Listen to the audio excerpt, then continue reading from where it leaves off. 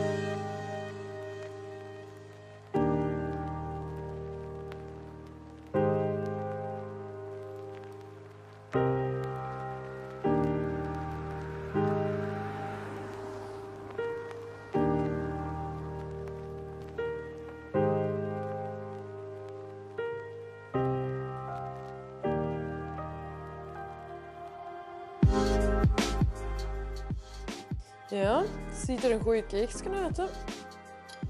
Proeven of het eh, even lekker is als eruit ziet. Ja, echt een goede sappige cake. Helemaal niet droog en uh, je proeft de Nutella goed, dus daar doen we het voor. Hè? Zeker maken dus. Salut!